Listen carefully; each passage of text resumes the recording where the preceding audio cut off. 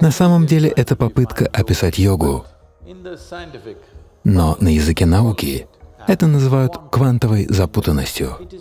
Мы бы не назвали это запутанностью, это квантовая связь.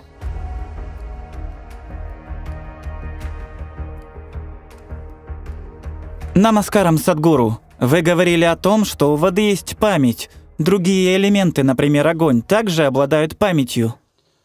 Вам нужно развить свое представление о том, что такое память. До недавнего времени считалось, что память — это только то, что вы помните. Но сегодня слово «память» скорее применимо к технологиям. Вы чаще используете слово «память» в отношении своих гаджетов, чем в отношении себя. Представление о памяти изменилось. Теперь у вещей есть память. Сто лет назад никто не мог и представить, что такое возможно, не так ли? Память может быть только у живых существ. Как у вещи может быть память? Но сегодня у вещей есть память обширнее, чем у вас, лучше, чем у вас. Это огромный сдвиг в том, как люди понимают память. Теперь мы говорим, что у воды есть память.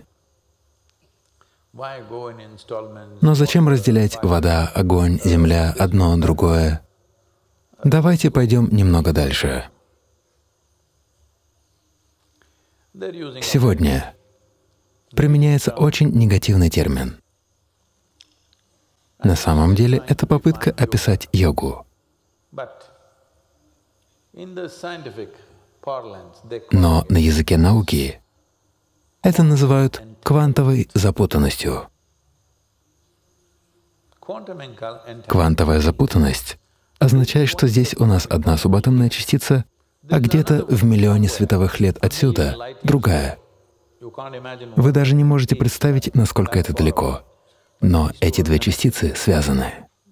Ученые не могут найти этому объяснение. Слово «йога» означает именно это. Мы бы не назвали это запутанностью, это квантовая связь. Во Вселенной или в творении, в космосе все взаимосвязано. Это происходит сейчас во всей Вселенной. Это не значит, что вот этот звук достигнет пределов космоса. Нет. Но есть взаимосвязь.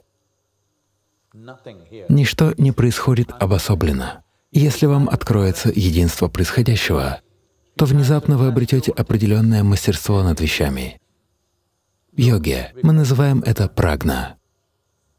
Скорость прагны больше скорости света, потому что она не перемещается.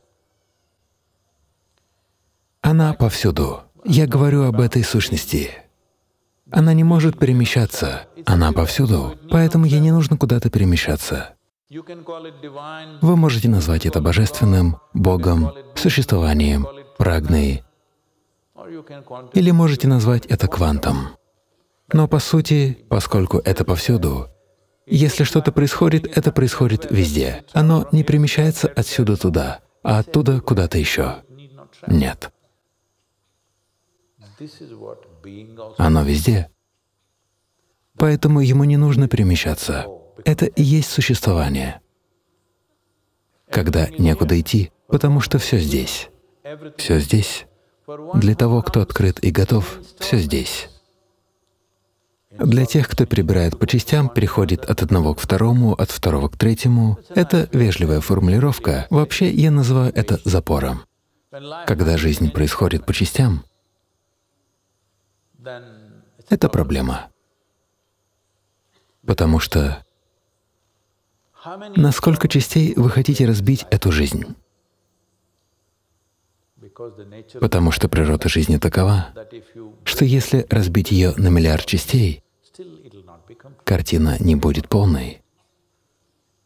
Потому что все здесь, а не в первой, второй, третьей части. Если у воды есть память, есть ли память и у камня тоже?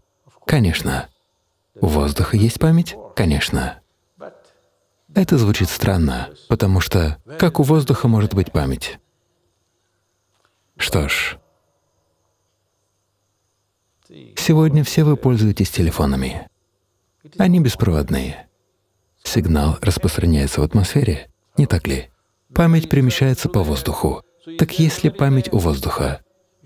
Вам даже не нужно задавать мне этот вопрос, потому что все вы пользуетесь устройствами. Но все это по-прежнему примитивно по сравнению с тем, что представляет из себя космос. Это не значит, что нечто перемещается из одной точки в другую. Перемещаться некуда, потому что между тем, что вы называете «везде» и «нигде», нет разницы. Где-то не существует. Есть везде и есть нигде. Где-то — это иллюзия, но сейчас где-то — это единственная реальность, которая у вас есть. Везде и нигде, по вашему опыту, это иллюзия. Не так ли? Где-то — это реальность. Я где-то или я везде. Все дело в этом. Везде и нигде — это реальность. Где-то — это иллюзия. Сейчас вы являетесь кем-то.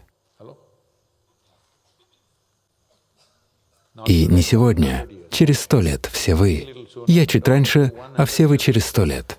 Если всех вас тут похоронят, не будет кого-то, будет только один сад. Да? Да или нет? Не существует вашего тела и моего тела. Есть только тело Земли. Разница только в том, осознаете ли вы это сейчас или поймете только, когда это произойдет. Это касается не только Земли, но и всего творения. Вы либо едины с ним, либо нет. Это не воображение. Я буду думать, что я одно целое с космосом. Так вы сойдете с ума. Но именно так оно и есть. Когда вы проживаете это через свой опыт, это потрясающе. Когда вы проживаете это психологически, вы все упускаете. Если на уровне психики вы думаете «я везде», это серьезный диагноз. Психологически, физиологически вы находитесь где-то. Но фундаментальная реальность такова.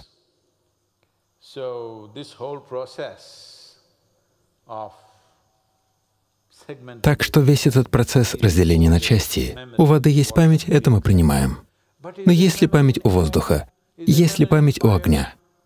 Это все равно, что смотреть на жизнь сквозь замочную скважину. Если вы и дальше будете продолжать смотреть на жизнь таким образом, даже если вы будете жить миллиард лет, вы все равно познаете лишь ее крошечную часть. Ничего страшного, но это самый неэффективный способ существования потому что мы заинтересованы в применении, а не в знании.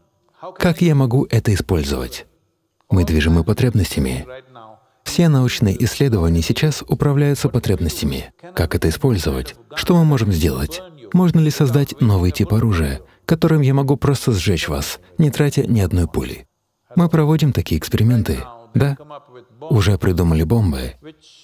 Сейчас придумали бомбы, которые при взрыве оставляют здания целыми, погибают только люди. Да, такая бомба воздействует излучением. Она только убивает людей. Здания остаются нетронутыми. Я думаю, это хорошо. Если вы хотите покорить другую страну, люди мертвы, а инфраструктура цела, разве это не прекрасный способ? Нами движут потребности. Вот в чем проблема. Все, что мы узнаем, мы начинаем использовать все более и более изощренно. Когда вы движимы потребностями, нужно понимать, что осознанно или неосознанно вы приносите разрушение. Что плохого в том, что мы движимы потребностями? Ничего плохого, если бы вы были любым другим существом. Ничего плохого, если бы вы были кузнечиком. Потому что существами движут потребности. Но когда вы достигаете такого уровня мозговой деятельности, такого уровня способностей и при этом вы движимы потребностями, единственное, к чему мы придем, это разрушение. Других вариантов просто нет. Когда общество или отдельные люди руководствуются потребностями, они не понимают, что приносит невероятно много разрушений, потому что потребность — это не путь, который где-то кончается, это бесконечность. Существование не является таким. Пункт назначения прямо здесь. Вам не нужно куда-то идти. Пункт назначения прямо здесь. Он не где-то в световых годах отсюда. Когда существует связанность между субатомными частицами, одна субатомная частица, у которой даже нет мозга, связана с другой в миллионе световых лет от нее, то с таким большим мозгом вы должны быть в состоянии найти связь, не так ли? Совсем во Вселенной. Это называется йога. Йога значит единство. Единство означает, что вы связаны со всем творением. Делать ничего не нужно, потому что у вас уже есть все. И вы здесь. Просто научитесь пользоваться тем, что у вас есть, не нанося себе вреда. Вот и все.